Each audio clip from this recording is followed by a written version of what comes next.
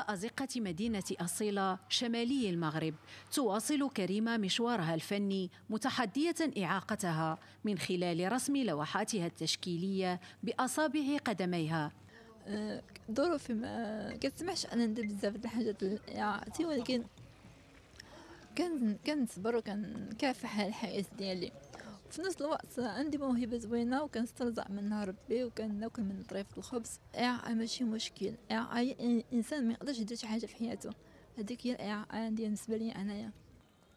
كريمة في عقدها الرابع لم تمنعها إعاقتها التي ولدت بها من التعبير عن قدراتها الشخصية لخوض تجربة فن الرسم واعتماده مصدر رزق لتأمين عيشها من خلال عرض لوحاتها للبيع.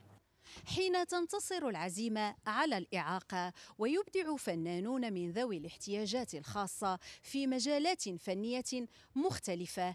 تلك صورة تعكس قوة الإرادة والإبداع التي لا تقتصر على فئة دون غيرها في تحقيق الذات عند الأسوياء أو ذوي الهمم على حد سواء. الجمعية الرياضية السلاوية للأشخاص المكفوفين وضعاف البصر واحدة من الفضاءات الأهلية التي تشكل الملاذ الآمن لهذه الفئة من ذوي الاحتياجات الخاصة. هذا المركز اللي كيقدم واحد المجموعة ديال الخدمات لهذه الفئة. من بينها في المجال التعليمي والرياضي والثقافي.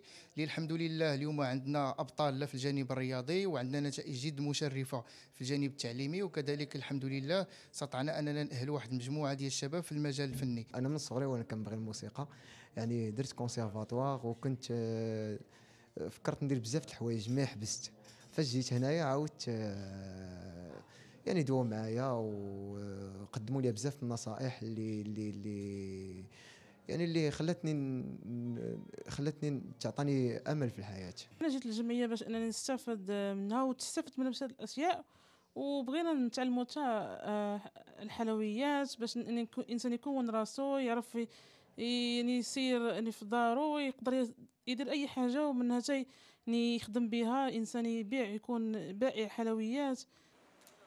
تشير إحصاءات رسمية إلى أن عدد ذوي الاحتياجات الخاصة في المغرب يزيد عن مليوني شخص الأمر الذي يتطلب تضافر الجهود على أكثر من صعيد للنهوض بأوضاع هذه الفئة ومساعدتها على رفع التحديات.